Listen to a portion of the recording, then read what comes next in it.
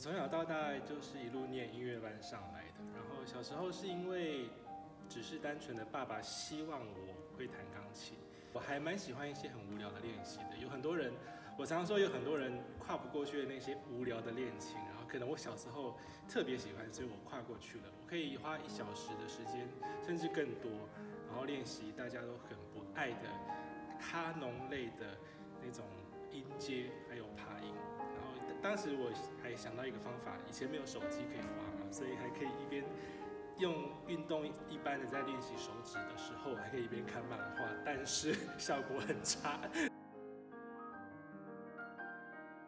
虽然我都是在学古典音乐的，然后念音乐系，但是有关于创作这件事情，可能就是我自己的一些有点不务正业，然后自己有一点想要尝试一些什么的那种感觉。所以只要我有创作，就表示哎，我好像不是很想练琴了。其实可以这样说。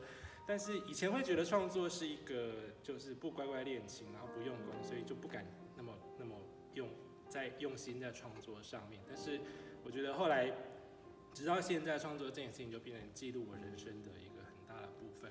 甚至从我自己的创作里面，我再找到很多练钢琴的方法。一路以来就是大胆的去创作，然后还是得很用功的练钢琴来。编织我的这个音乐的这个道路，而不是好像某一某一件事情是可以轻松达成的。其实很多事情都还是要努力的 去堆叠、去练习出来。